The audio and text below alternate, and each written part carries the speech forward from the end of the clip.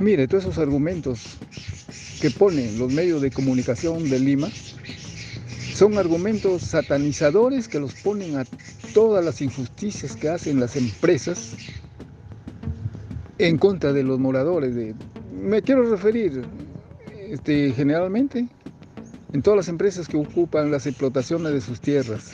No es así.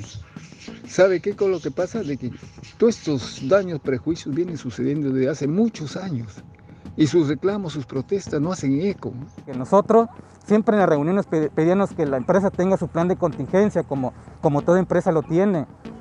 Nosotros pedíamos para que esa, esa, empresa tenga ahí a diario su plan de contingencia para mitigar esas emergencias, ¿no? Ahorita. O sea, las empresas dicen que tienen. ¿Y dónde está entonces su, su plan de contingencia para que ese, ese pequeño incendio que ellos aducen que fue cocinado no llegara a, esos mayores que hasta la madrugada lo, lo, lo han tratado de controlar?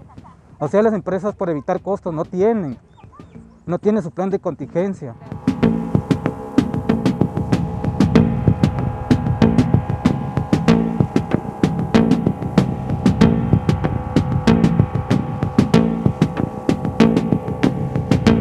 Desde las 2 de la tarde empezó la candela y no se paraba, pues no apagaba. Hasta la noche ya el humo nos ahogaba. Ya. A partir de las 3, 4 de la tarde ya se vino todo ese, humo a las casas porque el viento lo, traía. Y en esos momentos también pasó los bomberos, pero nosotros pensamos de que los bomberos iban a pagar porque estaba recién, en las cuales no lo pudo pagar y lo dejó ahí.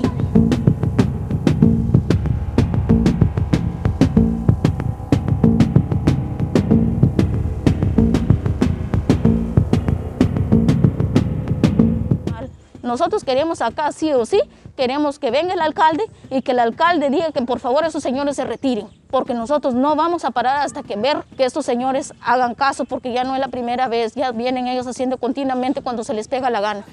Nuestra gente, ¿cómo puede vivir con este humo? Ojalá nuestras autoridades ayuden a calmar esto.